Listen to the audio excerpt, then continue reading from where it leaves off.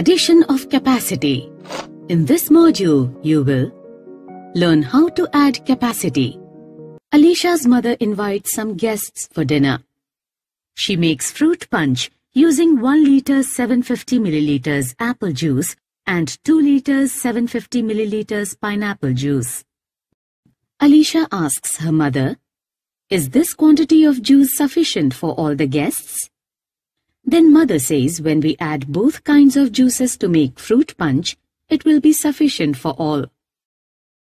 Now, Alicia asks her mother, how many liters of fruit punch is she making? Then mother explains how to calculate this.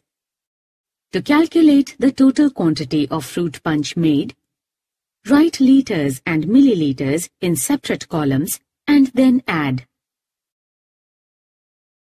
0 plus 0 is equal to 0.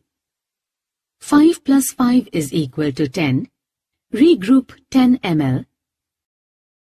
7 plus 7 plus 1 is equal to 15.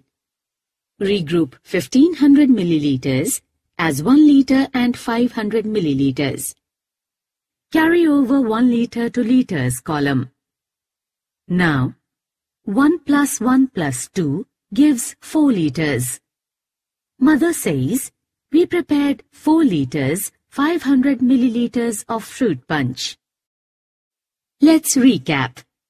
Here we have seen addition of capacity. First we arrange them in columns. We then start by adding the milliliters.